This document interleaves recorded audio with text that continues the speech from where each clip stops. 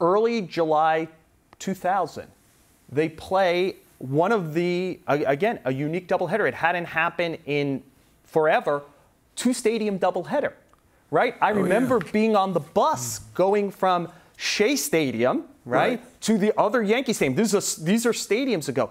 Dwight Gooden pitches at Shea Stadium and wins game one.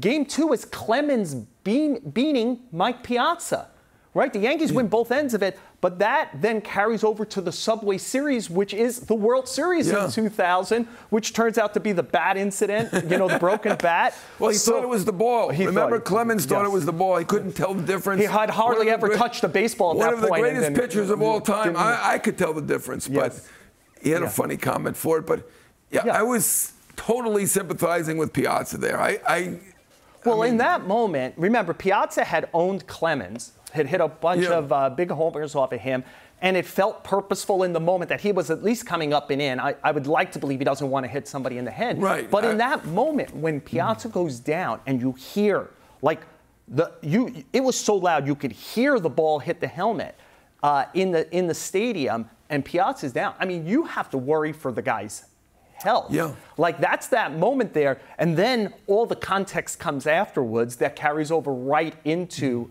uh, Clemens' start in the World Series.